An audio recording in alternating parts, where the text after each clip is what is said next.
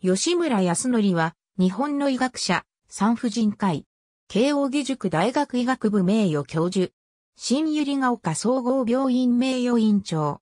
専門は、生殖生理学、不妊症学、臨床内分泌学。内閣官房参与。日本産科婦人科学会理事長、日本生殖医学会理事長を歴任。岐阜県出身。1975年、慶応義塾大学医学部卒業。同大学で研修医となり、以後、国立埼玉病院、横浜系友病院、慶応義塾大学医学部、浜松赤十字病院において、産婦人科医として勤務。1983年より、米国留学。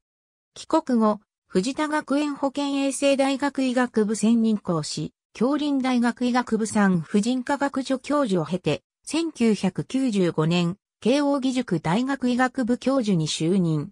2007年から2011年まで日本産科婦人科学会理事長を務めた。また、2010年より日本生殖医学会理事長を務めている。2012年11月、慶応義塾大学教員の中で学問水準の向上に寄与する研究業績を挙げた人物に贈られる福沢賞受賞。2013年3月、第2次安倍内閣の内閣官房参与に就任。